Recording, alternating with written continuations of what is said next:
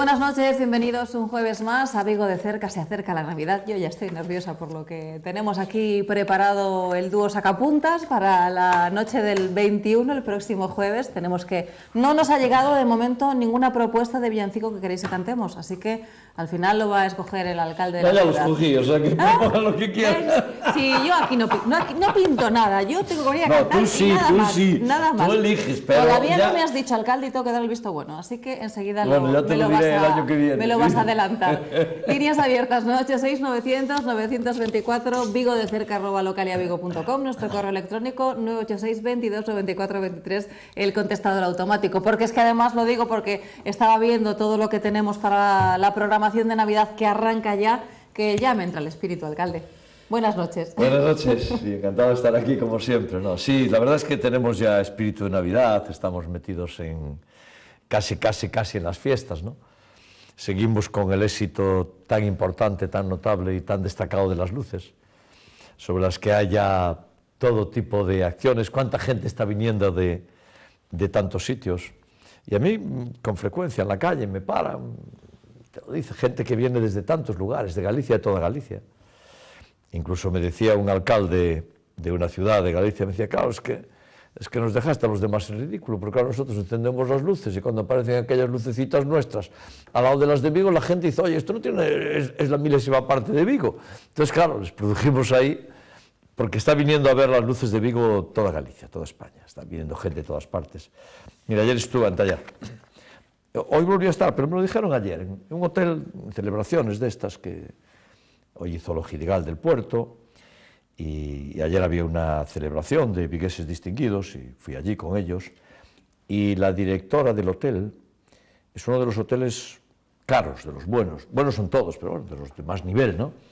Y me decía, pues este fin de semana lo tenemos con muchísima gente que viene a ver las luces de Vigo gente que se viene a Vigo, pasan aquí un día, eh, pasan una noche y al día siguiente se van.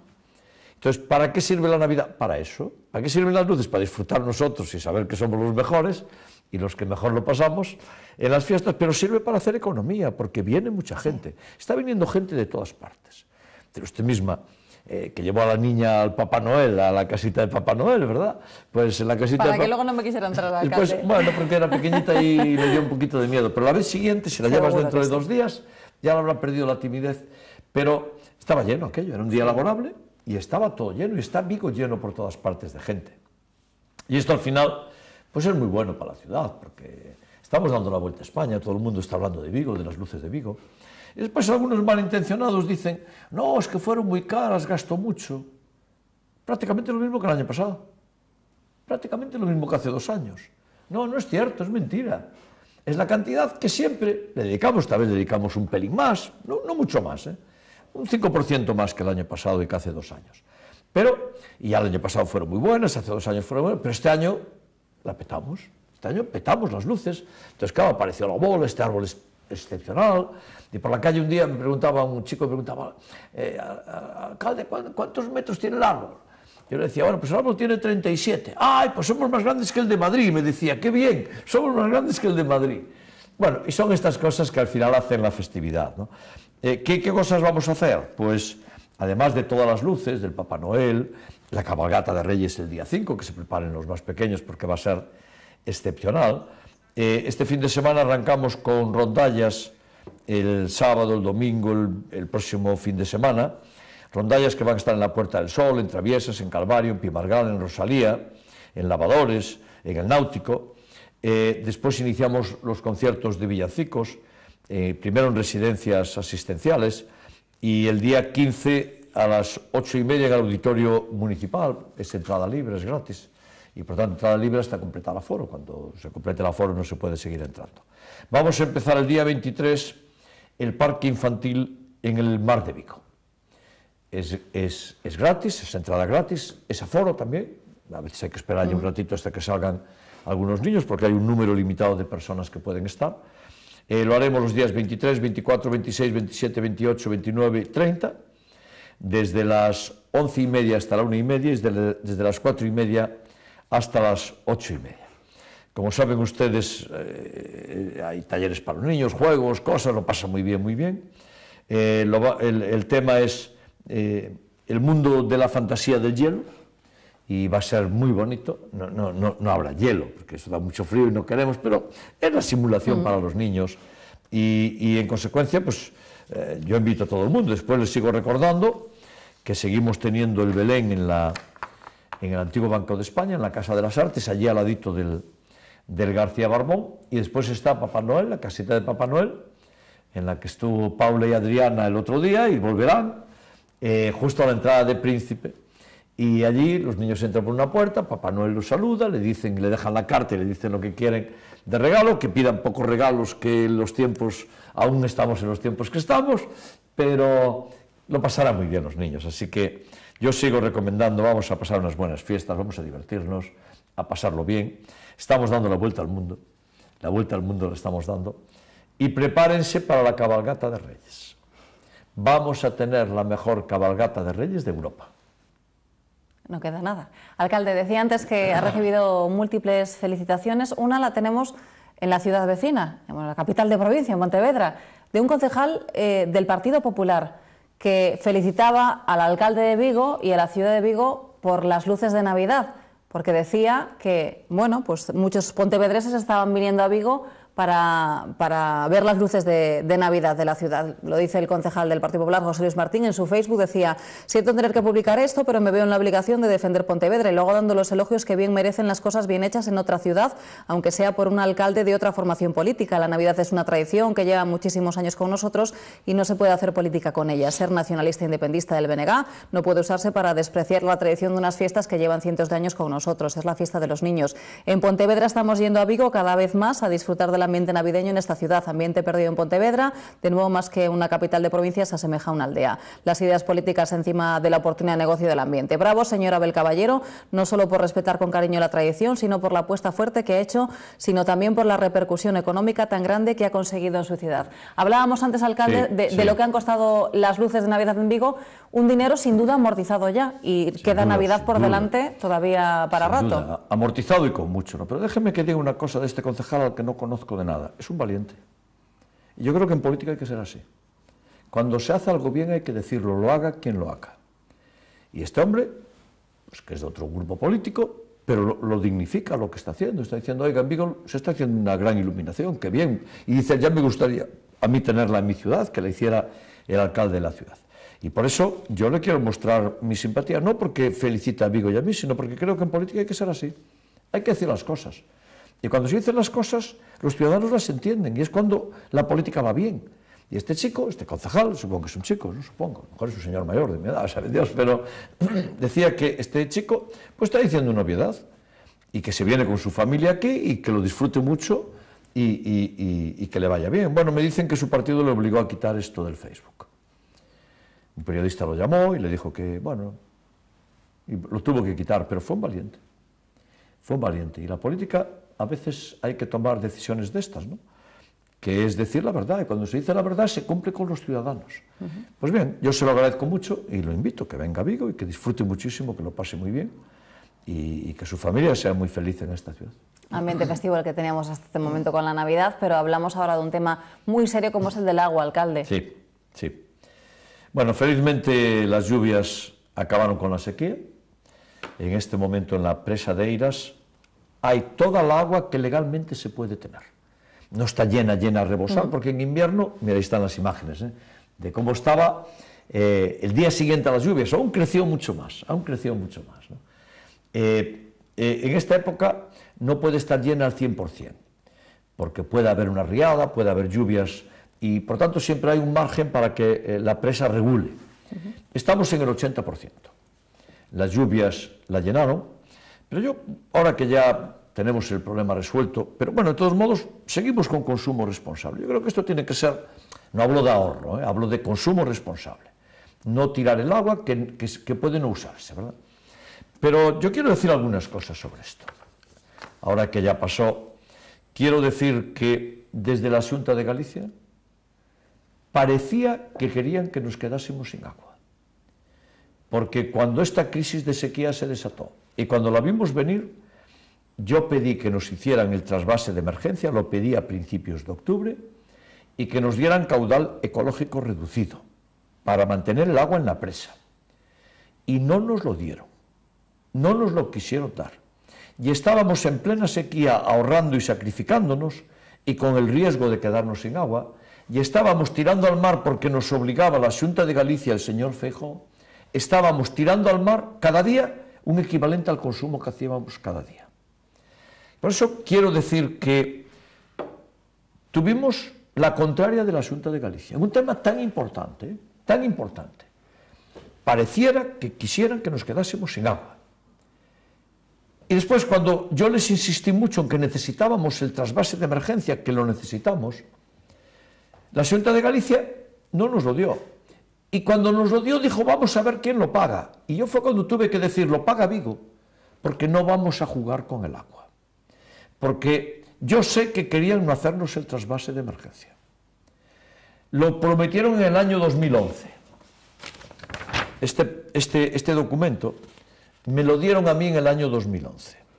Es el documento en el que plantean que van a hacer este trasvase de emergencia en el año 2011 ya para resolver el problema. Esto es la presa de Eiras, uh -huh. esto es el río Verdugo, esto es el río Itabén. Pues año 2011, 12, 13, 14, 15, 16, 17, 5 años, y en 5 años no hicieron una obra que se hace en 5 meses.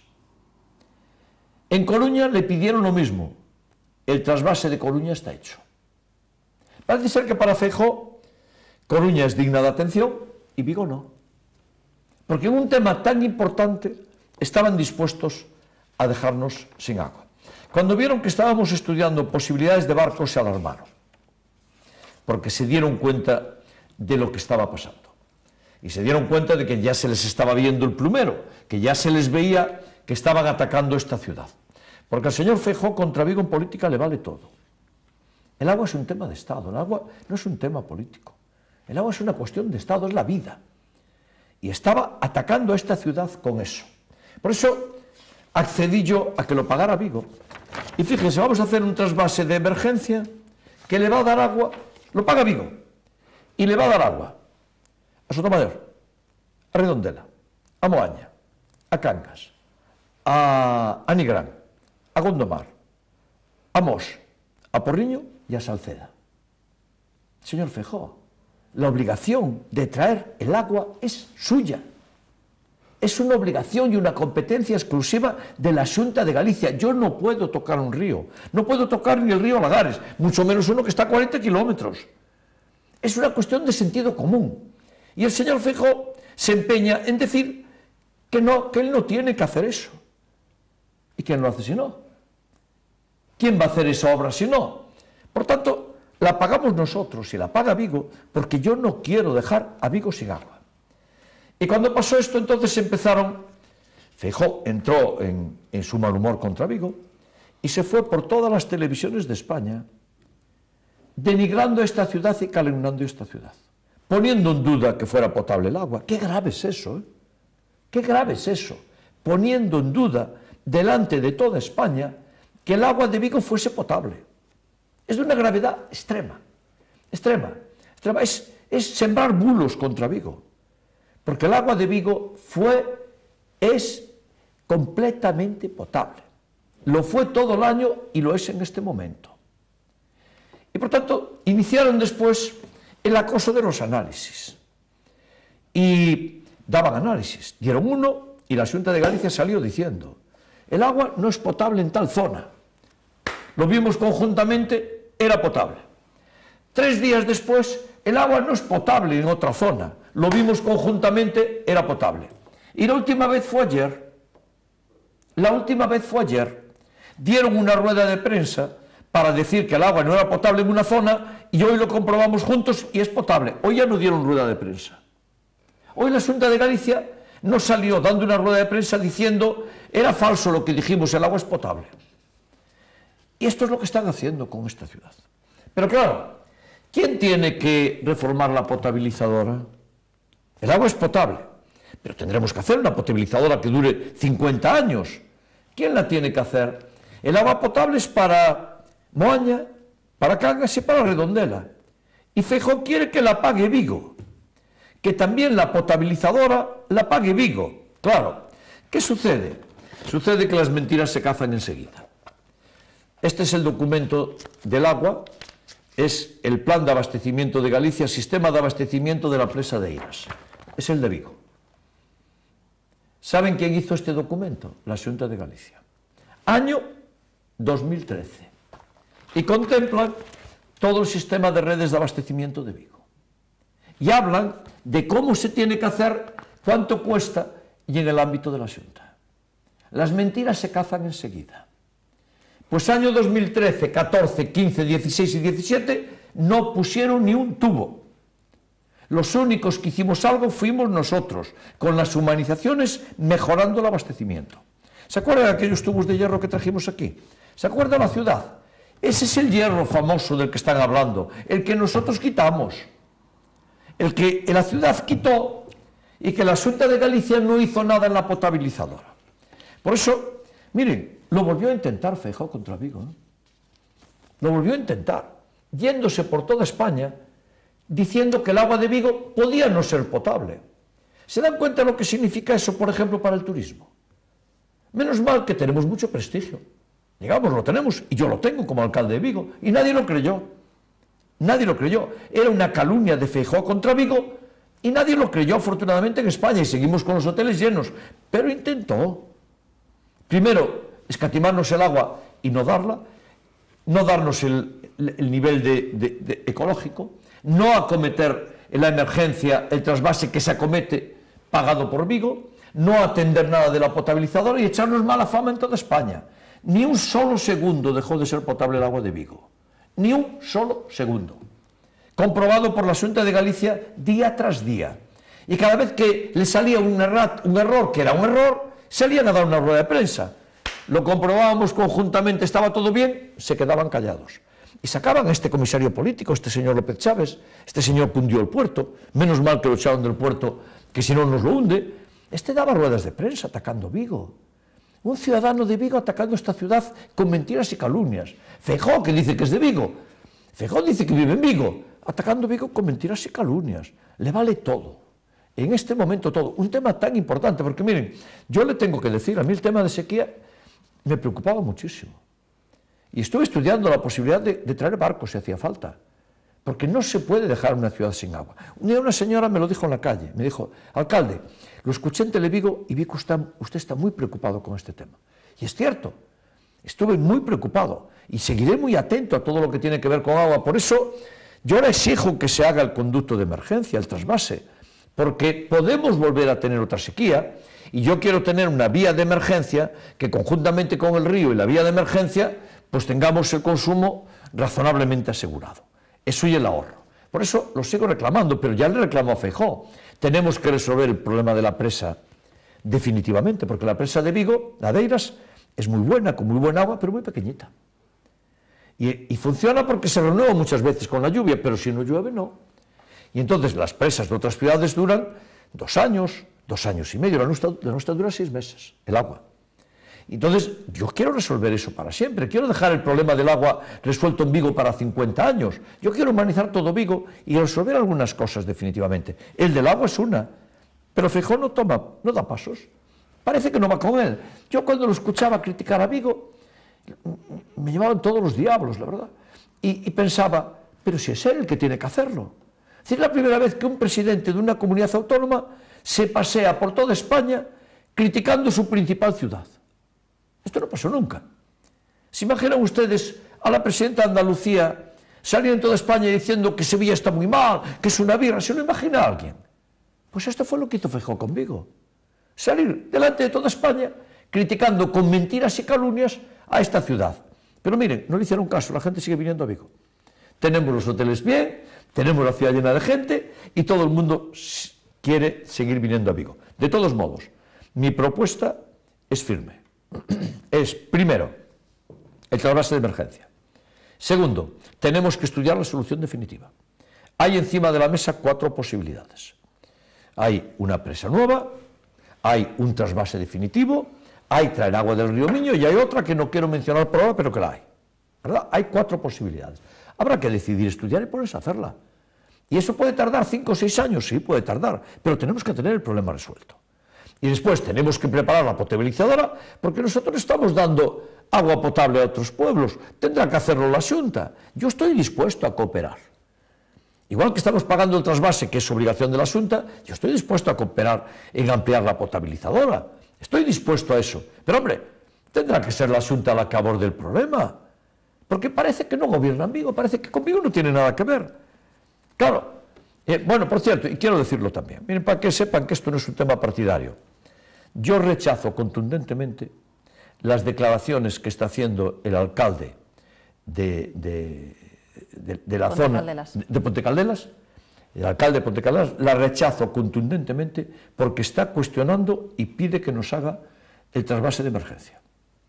Lo rechazo contundentemente, es un alcalde de mi partido. Me da exactamente igual. El agua es de todos la conducción que vamos a hacer es ecológicamente impecable, impecable. Es un tubo enterrado. Ecológicamente, menos 10, incluso mejor, menos 10. ¿Verdad? Y por tanto, le tengo que decir, y se lo quiero decir públicamente, no le voy a tolerar que ataque Vigo impunemente. Todo aquello que haga contra Vigo tendrá su respuesta desde esta ciudad. Eugenio, buenas noches. Hola, buenas noches. Disculpe la espera, no sabía el alcalde que le teníamos aquí. No sabía, Eugenio. pero, no me he dormido y estoy muy entretenido. Cuéntenos. Señor alcalde, buenas noches. Encantado, Eugenio. Verá, es que yo estoy verdaderamente sorprendido con lo que estamos pasando, con la oposición que usted tiene en el ayuntamiento. No hablo, no hablo en particular del Partido Popular. Vamos a ver, esta señora, en plena campaña electoral para la alcaldía de Vigo, ya mintió sobre el Parque Nacional de las Islas Atlánticas, poniendo en pie de guerra a las cofradías de pescadores del Morrazo, cuando dijo y dijo que había que verlo con lupa. Ahora resulta que ya está alineado con un parque nacional de no sé qué islas, de archipiélagos de las islas no sé qué y tal. Segundo, cuando esta señora, en plena campaña electoral, dijo que si ella fuese alcaldesa, Dios no lo quiera, crearía una tarjeta para entrar gratuitamente en todos los museos de Vigo, sin enterarse de que el único museo donde se paga es el Museo del Mar, dependiente de la Junta de Galicia. Esta señora lo que nos hace ver es que está apoyando a que no venga turistas a Vigo, porque el agua está envenenada, según sus palabras. Esta señora que tiene cara cuando habla en televisión de padecer algún problema de tránsito intestinal, Cicerón a su lado no vale nada, porque para gritar y decirnos las cosas tiene que apoyarse siempre un papel, como el otro, él es del puerto, que un malévolo amigo mío le llama el supositorio porque siempre está detrás y con un papel en la mano. No sé qué hace. Mire, señor alcalde, con relación a Pontecaldelas, he de decirle que si las cifras que tengo son correctas, tiene la mitad de los habitantes del nuevo barrio de Navia a ver cómo este señor nos va a dejar sin agua a medio barrio de Navia. Cuando a él no representa nada, es más, cuando 48 gotas se le, desborda, el río y después reclama todo lo que hay que reclamar a quién, a la Junta de Galicia. Y por último, hablando de la Junta de Galicia, yo creo que el señor Fijó sigue otra estrategia, que es apoyar a esta señora que está aquí en Vigo, porque la puso él. Y ahora cuando está completamente desprestigiada, pues naturalmente tiene que seguir apoyándola, porque si no es su culpa. Y, señor alcalde, muchas gracias. Por cierto, yo nunca he votado al Partido Socialista. Buenas noches. Muy bien. Muchas gracias. Si no, aquí no, no, va de, de, qué vota cada uno, va de nuestras opiniones. ¿no? Y sin entrar en las cuestiones concretas, pero eh, hay una cosa que es cierta, ¿no? y que es lo que a mí me, indigna más, ¿no? Porque, y es que el Partido Popular de Vigo siempre está en contra de la ciudad y al lado de aquellos que dicen que es la ciudad quien tiene que pagar las cosas. Déjeme que lo recuerde. Ahora estamos con el agua.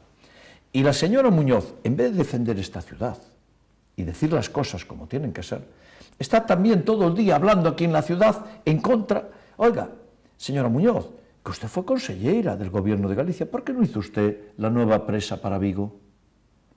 ¿Por qué no atendió usted la traída de aguas que era obligación de la Junta de Galicia? Y claro, cuando hay sequía, pagamos las consecuencias todos. Esto es una, es una cuestión eh, absolutamente evidente. Todos pagamos eh, las consecuencias de una sequía. Pero quien tiene que hacerle frente es la Junta de Galicia. Y yo siempre que escucho al Partido Popular, a la señora Muñoz y al resto de sus eh, concejales, siempre quieren que todo lo pague Vigo. ¿Ustedes escucharon a la señora Muñoz decir que el trasvase de emergencia lo tenía que pagar la Junta? no. Están de acuerdo y quieren que pague Vigo. Cuando llega la potabilizadora, dicen que está muy mal, muy mal, muy mal.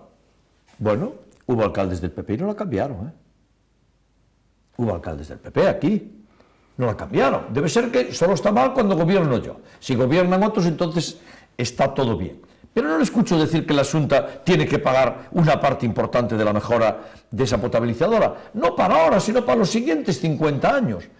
Pero cuando fue el área metropolitana, Era Vigo quen tenía que pagar el transporte y la señora Muñoz quería que Vigo pagara el transporte. Pero estamos hablando del aparcamiento del hospital, del, del Álvaro Cunqueiro. ¿Alguien escucha a la señora Muñoz decir que el aparcamiento del hospital tiene que ser gratis? No, está encantada que paguemos, que paguemos el aparcamiento para que se lo quede desde Santiago. Pero cuando tenemos que hablar de, de las inversiones que le corresponden en la conexión de la AP9 desde la Avenida Buenos Aires hasta el centro, no le escucho nunca decir que lo tiene que pagar la Junta de Galicia, que es a quien le corresponde. Entonces, ¿qué le pasa al Partido Popular de Vigo? Que en lugar de defender la ciudad y a la gente, a su gente, que es la gente de Vigo, defienden a Feijóo y a Santiago. Yo nunca les escucho decir que pague algo la Junta de Galicia. Siempre tenemos que pagarlo todos nosotros.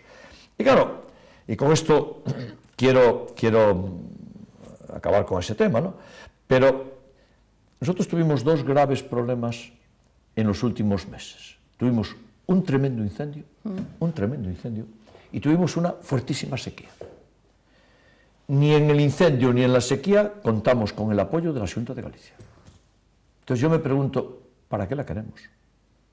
Porque si en algún momento alguien necesita algo de la entidad eh, más, más, general, más amplia, la entidad superior en el terreno de, de la, de, del espacio, es cuando hay emergencias. Cuando hay emergencias cuando necesitamos de ellos que tienen que tener más medios. Pues en los incendios de Vigo lo apagamos en 15 horas nosotros, los bomberos, la policía y los ciudadanos. Nosotros, Vigo. Los ciudadanos en la calle, los bomberos, la policía, protección civil, la policía nacional, la policía local, la guardia civil, todos.